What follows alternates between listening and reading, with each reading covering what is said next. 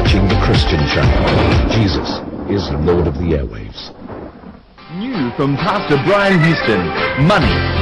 There's not one person in this building who doesn't need more money.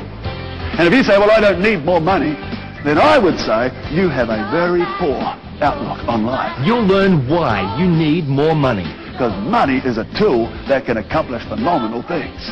What money can do in your hand is bless, it can help, it can build, it can increase, it can bring vision, it can strengthen. You'll learn how to get more money. And you'll learn how to have wealth without having a love for money. Poor does not have to be permanent. All the answers here, you say, well, you know, how do you know that? Because why would the scripture say, let the poor say, I am rich? If it wasn't the will of God to break the power of poverty over people's life.